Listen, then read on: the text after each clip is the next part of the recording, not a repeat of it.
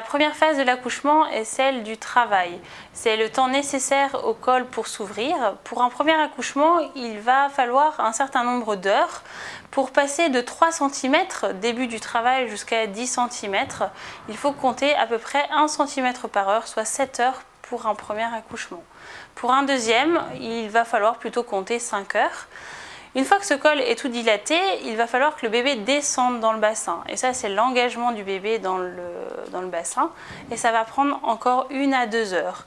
Donc, pour résumer, la première phase du travail euh, va durer au total 8 euh, heures pour un premier accouchement, entre 8 et 10 heures, et pour un deuxième, entre 5 et 7 heures. La deuxième étape de l'accouchement, c'est celle peut-être que l'on attend le plus, c'est la naissance du bébé.